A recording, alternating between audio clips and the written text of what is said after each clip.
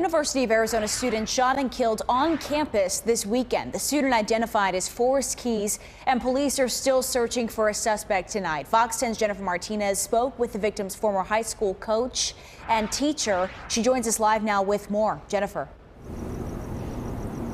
Well, Christina, the death of this 20 year old really a complete shock for not only students, but that former high school coach and teacher. He says that he had his whole life ahead of him certain kids they just stay with you they never they never leave they, they make a, a huge imprint and he was he was that kid for me the University of Arizona campus devastated after the sudden death of 20 year old Forrest Keys on Saturday.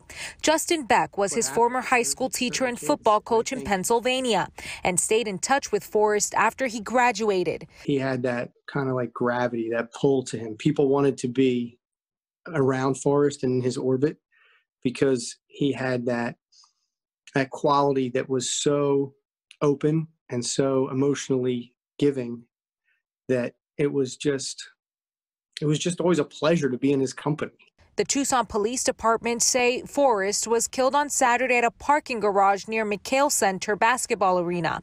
He was with his friends when investigators say he got into an argument with a group of people in a red or maroon Cadillac seen here and shots rang out. Police say they are looking for this car believed to be a 2006 to 2011 model. One of the kindest, gentlest kids that I've ever had in the classroom and one of the best competitors I ever had on the football field. I I couldn't imagine this in a million years. Forrest was a sophomore at the university studying communication who moved from Philadelphia.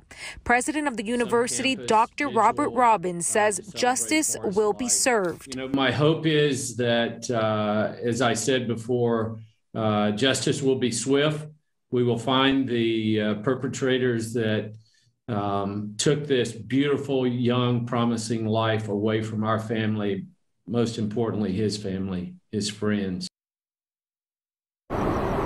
And again, the Tucson Police Department, they are looking for this red or maroon Cadillac, and they say it's between the years 2006 and 2011. If you have any information, you are asked to call the Tucson Police Department. Live in Phoenix tonight, I'm Jennifer Martinez with Fox 10 News.